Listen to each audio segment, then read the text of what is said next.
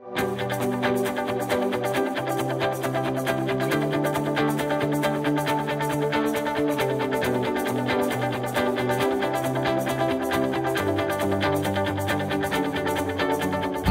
medical school's focus on leadership from day one is important because we believe healthcare is changing. And we believe that this change needs leaders.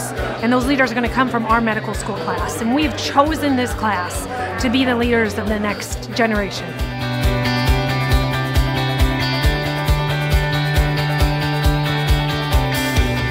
The students are learning how to work together in teams. It's really part of our leadership initiative. So our students need to be trained how to actually impact change when they leave medical school, and we started right at the first day of medical school.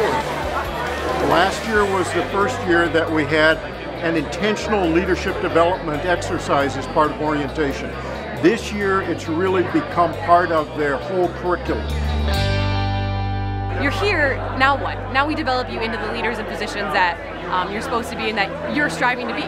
They're doing activities on real problems in healthcare and fixing them. You guys want to split up into two mini groups first, brainstorm, and come together? Instead of mistakes, like life-changing cases. 30 minutes left. At 30 minutes, you have to stop, step away from the table, and be ready to present. One of the most important things is recognizing what their own values are and then how different other people are when they're put together in teams to solve problems. This is something really important, and these are real problems that they're being faced with.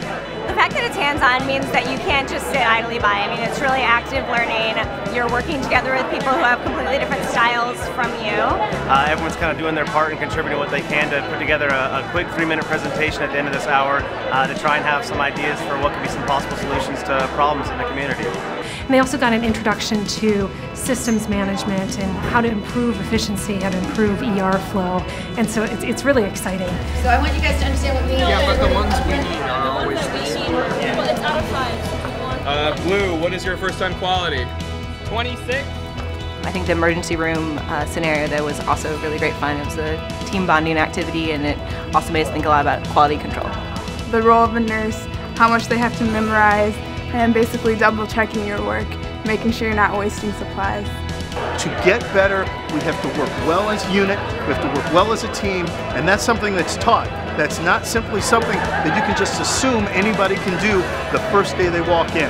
My biggest takeaway is just how how much Michigan focuses on building teams. Uh, a lot of the responsibilities and, and, roles that we had I wouldn't have been able to do on my own. So it was very important to have the input and, and the insight of others around me.